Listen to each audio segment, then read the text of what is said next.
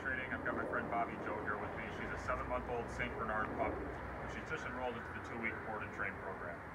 So Bobbie Jo's an interesting puppy because she goes back and forth from being a pretty timid, standoffish, skeptical type dog to being incredibly pushy, trying to get in your face, move you around, um, activate affection and attention and play. So that last one, the, the pushiness, that typically occurs around the house. Someone sits down with a sandwich or something and she wants a piece of it, she's going to be muscling up onto people, uh, laying her head on people's laps, whining, even like doing the paw punching thing. And these behaviors the owners ignored for the longest time because she was small, it's cute, all of that. Now she weighs like 75-ish, 80 pounds, and it's no longer cute. It's pretty disruptive to day-to-day -day life. Those behaviors get even worse if like a guest is over coming through the door. She's just hitting people, jumping, dragging people to the ground, um, and just being a general pain. When they want to have you know kids' friends over, she's all over them.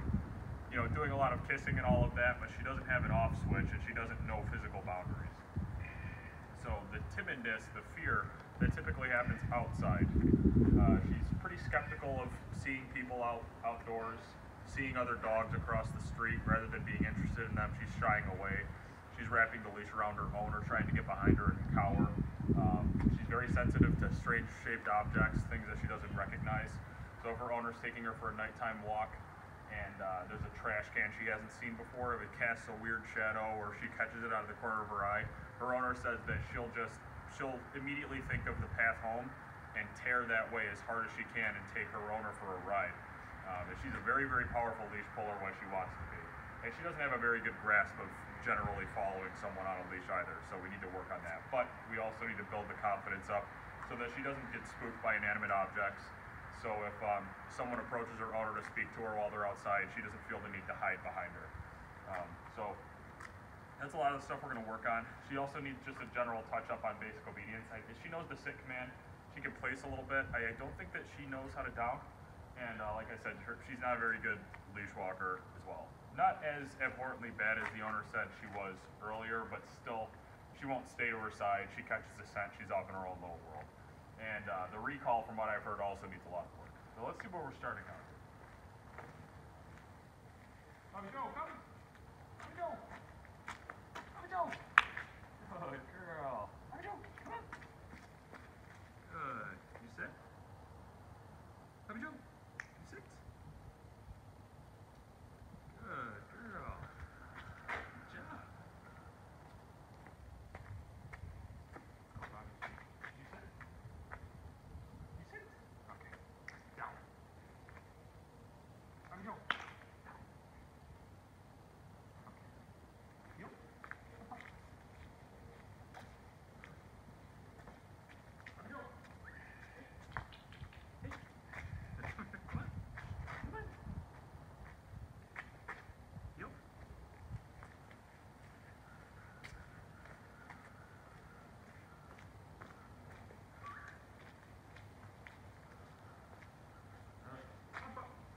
Got some work to do.